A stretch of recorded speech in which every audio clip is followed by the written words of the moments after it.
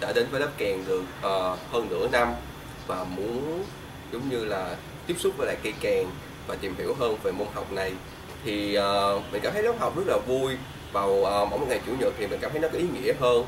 Thì mình cảm thấy là mình có được một cái mục đích mình cảm thấy là mình có một cái niềm vui mới mình có trải nghiệm mới. Mà nhưng mà mình cảm thấy nó rất là tạo cho mình vừa có sức khỏe mà lại được cho mình có uh, kỹ năng chơi kèn tốt hơn uh, có thể uh, ấn tượng với cả các bạn gái nữa. Này thì